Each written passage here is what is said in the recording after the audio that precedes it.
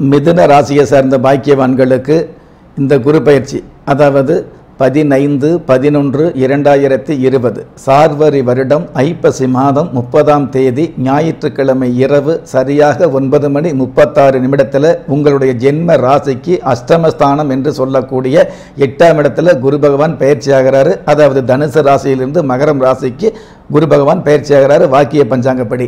இந்த எட்டு அப்படிங்கிறது வந்து பார்த்தீங்கன்னா அஷ்டமஸ்தானமாக இருக்கிறதுனால இந்த அஷ்டமஸ்தானத்தில் குரு பகவான் பயிற்சி ஆகிறதுனால பொதுவாகவே இந்த குரு பகவான் வந்து எட்டாம் இடத்துல மறைஞ்சார்னு வைங்களே தேவையில்லாத கண்டங்கள் கொடுக்கும் தேவையில்லாத தடைகள் கொடுக்கும் தேவையில்லாத பண வரவு சம்மந்தப்பட்ட விஷயங்களில் கழகத்தை ஏற்படுத்தக்கூடிய சூழலை கொடுக்கும் அப்படிங்கிறது பொதுவான விதி.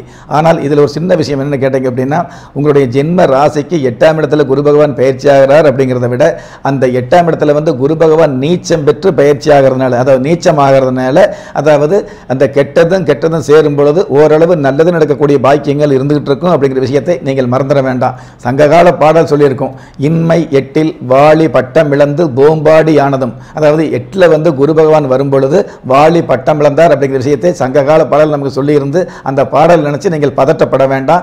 ஏன்னா இப்போ வந்து இந்த எட்டாம் இடத்துக்கு குரு பகவான் வரும் பொழுது குரு பகவானே நீச்சம் அப்படிங்கிற அமைப்பில் வந்து பயிற்சி ஆகிறதுனால பெரிதான பாதிப்பு இருக்காது அப்படிங்கிற விஷயத்தை. அதாவது குரு பகவான் பயிற்சியாகக்கூடிய இடமும் எட்டு அதே மாதிரி குரு பகவான் வந்து பயிற்சியாகக்கூடிய அந்த காலங்களில் வந்து நீச்சம் அப்படிங்கிற அமைப்பில் குரு பகவான் இருக்கிறதுனால பெரிதான பாதிப்பு இருக்காது அப்படிங்கிற விஷயத்தை நீங்கள் வலுவாகவே நம்பலாம்.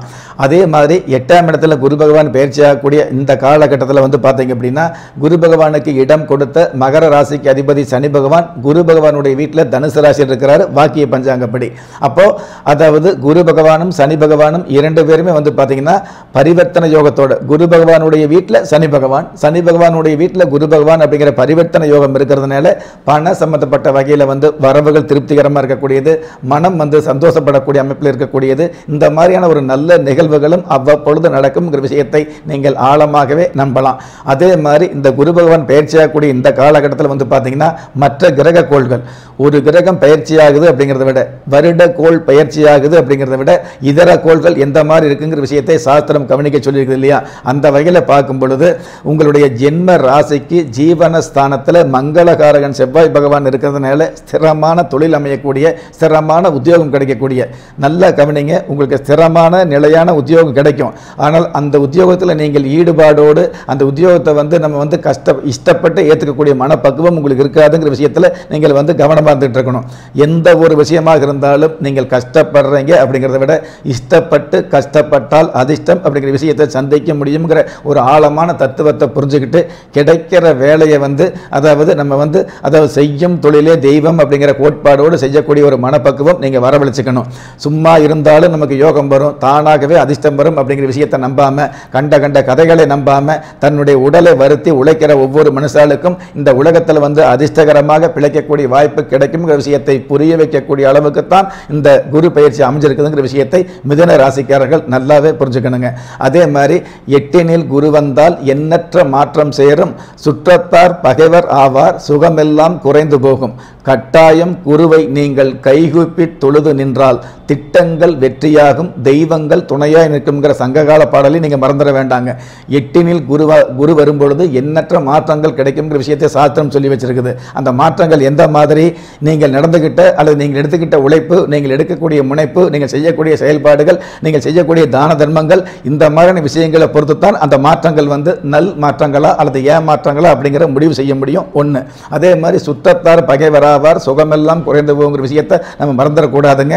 என்னதான் உறவு அப்படிங்கிற விஷயம் இருந்தால் கூட அந்த உறவுகளில் தேவையில்லாத மன கசப்புகள் இருந்துட்டு இருக்கக்கூடிய மன சங்கடங்கள் ஏற்படக்கூடிய குறிப்பாக மாமன் மச்சான் மைத்துனர் வகையில் சின்ன சின்ன மன சங்கடங்கள் ஏற்படக்கூடிய வாய்ப்புகள் அதிகமாக வந்துட்டுருக்கோம் இருக்கும் அதே மாதிரி சுகமெல்லாம் குறைந்து போகுங்கிற அளவுக்கு உடல் சம்பந்தப்பட்ட வகையில் வந்து தேவையில்லாத அதாவது நோய்கள் மறைமுக தொல்லைகள் தோல் நோய் சம்பந்தப்பட்ட விஷயங்கள் வரக்கூடியது. இந்த மாதிரி அமைப்புகள் இருந்துட்டு இருக்கும் இருக்கிற நோய்க்கு மருந்து எடுக்கும் பொழுது அந்த மருந்து கூட மாற்று மருந்து எடுக்கக்கூடிய சூழல் அதன் மூலமாக எதிர்மறையான நோய் வரக்கூடிய எதிர்மறையான விளைவுகள் ஏற்படுத்தக்கூடிய அமைப்பு. இந்த மாதிரியான ஒரு அமைப்புகள் இந்த வ- இந்த குரு பயிற்சியில் அதிகமாக இருக்கிறதுனால எதுலேயுமே கவனமாக இருக்கணுங்கிற விஷயத்தை நீங்கள் எடுத்துக்கணும்.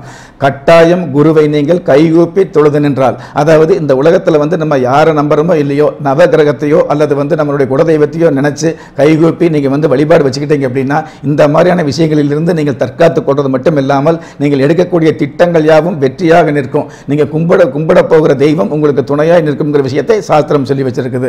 குரு பயிற்சி ஆகக்கூடிய இந்த காலகட்டங்களில் உங்களுடைய ஜென்ம ராசி அதிபதி புதன் பகவான் சூரிய பகவானோடு சேர்ந்து பஞ்சமஸ்தானத்தில் புத ஆதித்ய யோகத்தோடு இருக்கிறதுனால பொன் பொருள் வாங்கக்கூடிய ஆசைகள் ஒரு சில பேருக்கு பலிதமாகும். அதே மாதிரி இந்த பொன் பொருள் சம்பந்தப்பட்ட விஷயங்களில் தேவையில்லாத தடங்கள் இருந்தது அப்படின்னா தடங்கள் வந்து தானாக நிவர்த்தி ஆகக்கூடிய பாக்கியம் இருந்துட்டு இருக்கும் கடந்த காலங்களில் கட்டுமனைகள் அதாவது கட்ட கட்டடப் பணிகள் இருந்துன்னு அந்த கட்டடப் பணிகள் பாதியிலேயே நின்று போயிருந்துன்னு வைங்களே நின்று போன கட்டடை கட்டடப் பணிகளை மீண்டும் துவங்கக்கூடிய வாய்ப்புகள் அதிகமாக இருந்துட்டு இருக்கும் ஆனால் செலவுகளும் அதிகமாக இருந்துட்டு இருக்கும் நீங்கள் எந்த அளவுக்கு கணக்கு போடுகிறீர்களோ எந்த அளவுக்கு பட்ஜெட் போடுகிறீங்களோ அதற்கு மேலே ஏறுக்கு மாறாக செலவுகள் அதிக அதிகரிக்கக்கூடிய வாய்ப்புகளும் இந்த குரு பயிற்சியில் இருந்துட்டு இருக்கும் அதனால் எதிலும் கவனமாக இருந்துட்டு இருக்கிறது நல்லதாக இருந்துட்டு இருக்கும் ஒரு முறைக்கு இருமுறை இருமுறைக்கு பல முறை யோசனை பண்ணி செய்கிறது சிறப்பாக இருந்துகிட்டு இருக்கோம் அதே மாதிரி ஆலோசனை அப்படிங்கிற விஷயத்தில் வந்து மற்றவங்களுடைய ஆலோசனை கேட்டுக்கிறது பெரியவங்களுடைய ஆலோசனையை கேட்டுக்கிறது அனுபவப்பட்டவங்களுடைய ஆலோசனை எடுத்துக்கிறதெல்லாம் நல்லதாக இருந்துகிட்டு இருக்கோம் சுகஸ்தானத்தில் சுக்கர பகவான் இருக்கிறதுனால நான் முன்னாடியே சொன்ன மாதிரி உடல் ரீதியான வகையில் ஆரோக்கியத்தில் தேவையில்லாத செலவுகள் ஏற்படக்கூடிய மருத்துவ செலவுகள் ஏற்படக்கூடிய சூழல் அதிகமாக வந்துட்டு இருக்கும்